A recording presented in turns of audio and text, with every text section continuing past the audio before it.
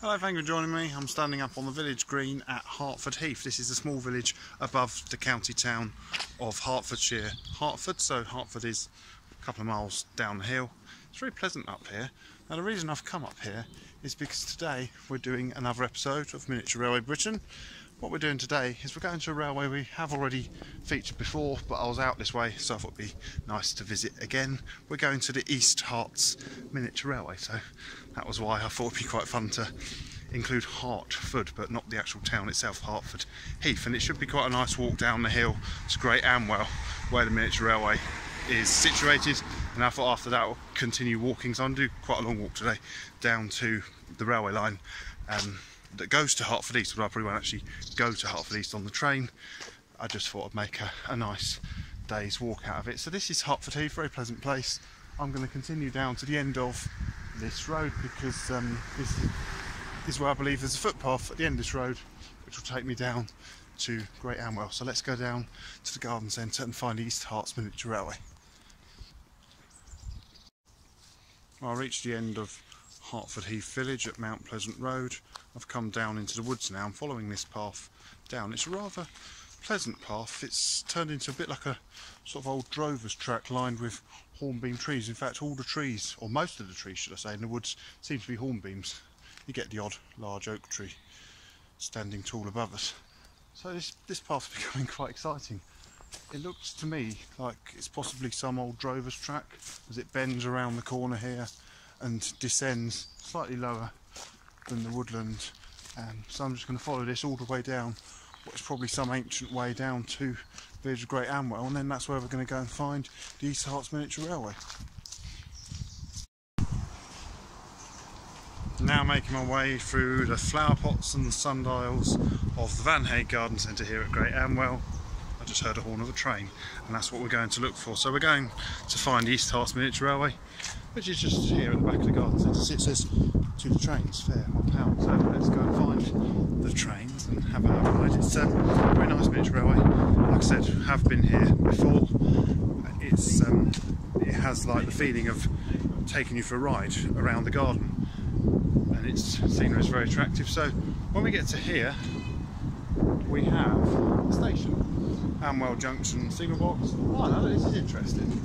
When we last came here, we got on the train and we went round the circuit. It's like a folded in half figure of eight. We went round clockwise, but today they're going anti-clockwise. So this video, we're going to see it in the opposite direction to what we saw when we came here 18 months ago. So let's just watch the train go past. It's, well, I'll tell you in a moment. Just watch it go past.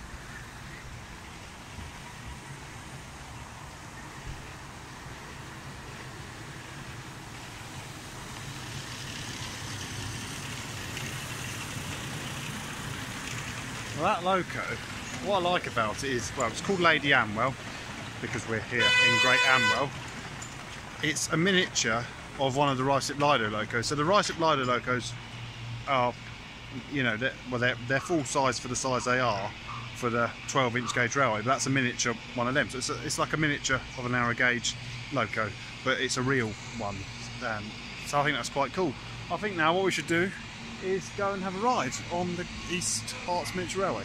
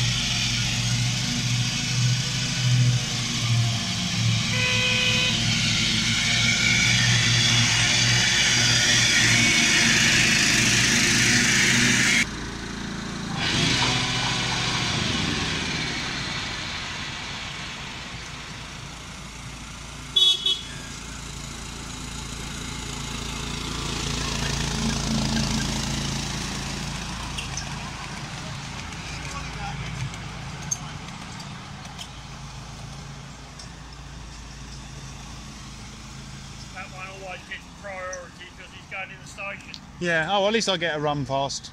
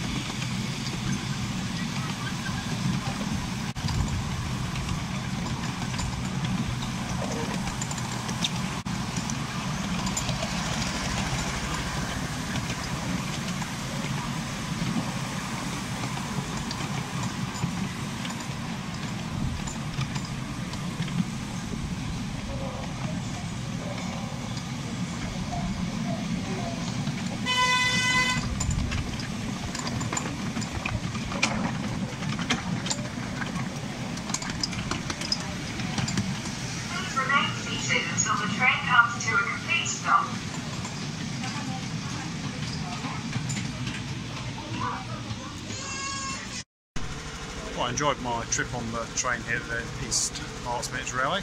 And the railway has very kindly given me a visitor badge and given me permission to take you line side and have a look at the shed. So what we'll do, we shall go for a little walk.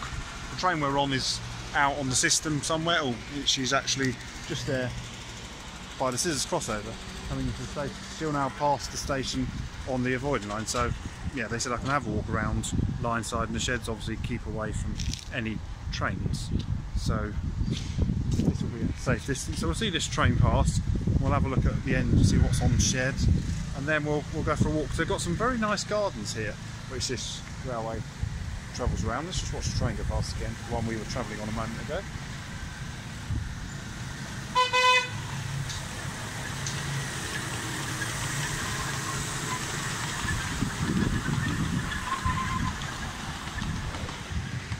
So the train goes off. Let's just have a look at. We've got this interesting looking loco here. So um, Lee Lee Endeavour, and looks like you can actually sit right inside. I always quite like seven and a quarter locos that you can sit inside because you can't always. A lot of them because they're miniature, but that's more like a bit like um, what we travelled on a miniature narrow gauge. Although the driver kind of does sit in, but with his head out. Let's go along here. We'll go across this little crossing here, and then we shall go into the garden. So we'll go across here. The grass has been freshly mown this morning. So the um, so as I say, it's basically a folded in half figure of eight, but it's also two independent circuits. So you can clearly see the two run together. Here one goes through a tunnel, one goes through a cutting. If we go up onto the bank above the cutting, you get quite a nice view of the whole system. I think it's a really nice, it really feels like you're in someone's garden. And so, you know, as we've seen from certain miniature railways, um, it doesn't really matter how big your garden is. Most of the time you can have a miniature railway. But if you've got a garden of this size, then this is the sort of thing you can do. So we've got the station over there and um, the gardens here, the tunnel down there. There's a bit I really like, it's a nice path. So um, we should go to here. There's like a little stream with a lighthouse. Um, I wouldn't quite call this a model village, but it's nice to see a model building, lighthouse up here. And the stream trickles off down there, down to the big pond, which, um, as we saw, the train goes over a bridge over. So there's another view of the station just there. Now where am I going to? Uh, we'll walk along beside the station, we'll go up this path up here.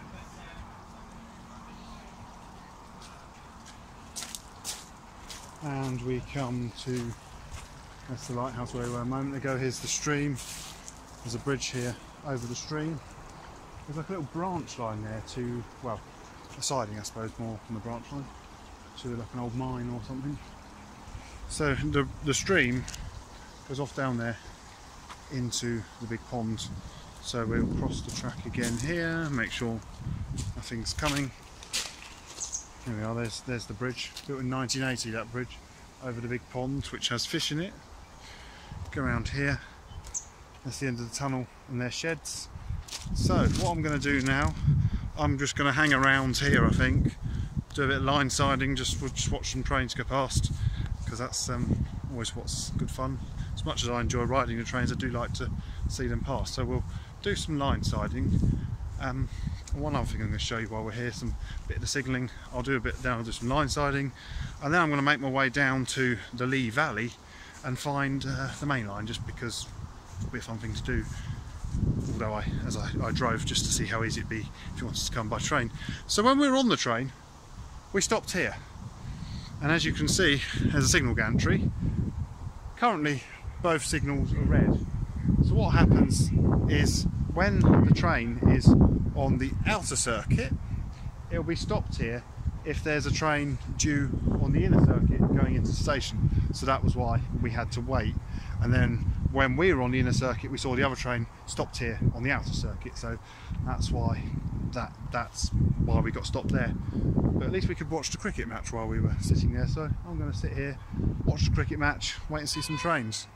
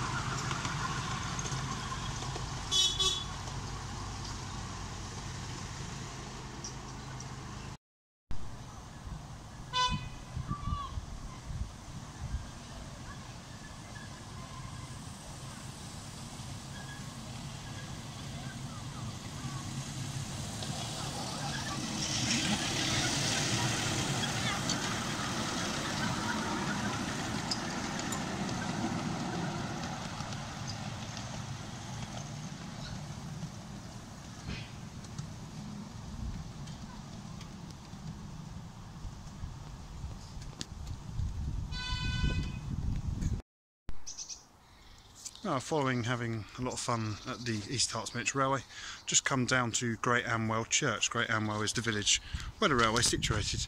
We're going to go down here to the New River. So, as I said, the park's at Hertford Heath. I've got quite a long walk ahead of me, so um, I'm going to walk along down to what's known as the New River, which is like a flat aqueduct supplying water to London. So it's not an aqueduct up in the air; it's an aqueduct on the ground so it looks more like a canal. So we go down these steps. I just thought, you know, it's a okay, it's not a railway, but it's a waterway, and it's quite fascinating. It runs along the Lee Valley, and the Lee Valley also has the Hertford East Railway line, which um, I'm also going to try and find. I'm going to try and see a train at some point, and maybe catch a glimpse of a Class 317 in their final months of service. But we come down here. This is the New River.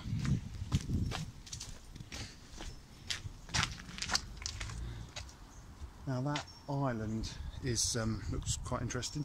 I believe, oh yeah, there, there is. There's a monument on the island um, to. It slipped my name, but it's coming on screen now. So there you go. That's this is the new river. I'm going to follow along what you know. It looks very much like walking along a canal. If you looked at here, at here, you'd think, oh yeah, a canal. The thing that gives it away is it's not a canal. It's not many boats are going to fit under that bridge.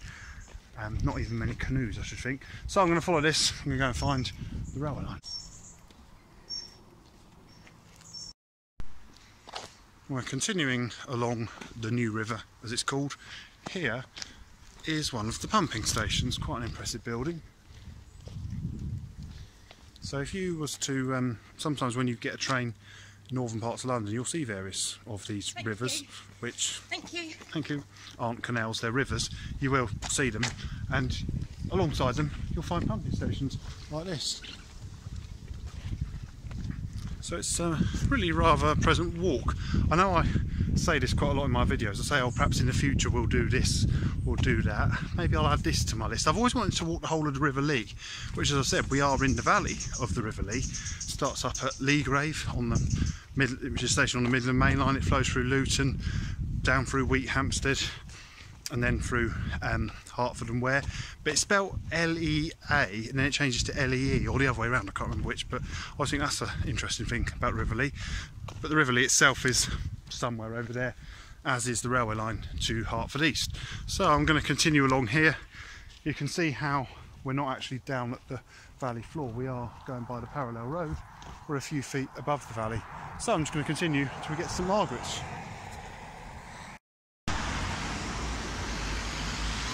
We've arrived at the village of Stanstead St Margaret. See on the village sign there, there's a picture of a steam loco. It looks like an N7 or an N2, which would have worked the Hertford East branch probably in the steam days.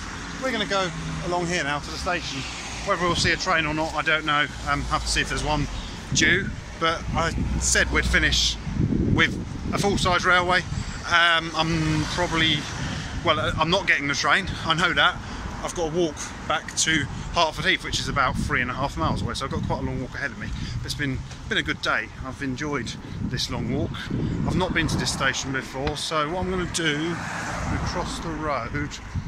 So here is the level crossing. I don't think there'll be a train due just yet because as I got here I could see a traffic jam. All the cars were stationary, so they started moving, so a train must have just come along. And uh, it's a new station for me. It's got quite a brutalist looking concrete bridge. So it looks as though the bridge is used for people who are not um, wanting to, to wait while the gates go down. You do sometimes get that when you come to these stations. So just there is the level crossing.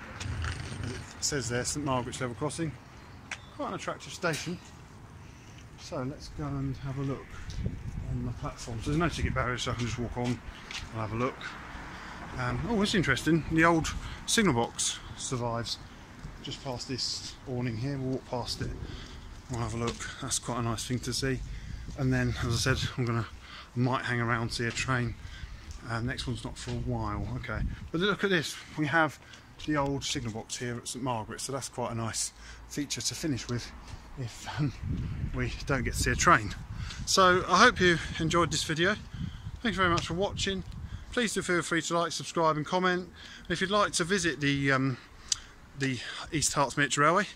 It's quite easy to get to by car. If you're thinking of going by public transport, you're probably better getting off at Ware station. You can walk along the New River, not the section I did, but a different section of the New River, and up. It probably take you about 20 minutes to half an hour. So that's quite a pleasant walk to do. So from St Margaret Station, thank you very much to the East Hertsmere Railway. I had a very good time there, really enjoyed it. And thank you very much for watching. Please do feel free to like, subscribe, and comment. Goodbye.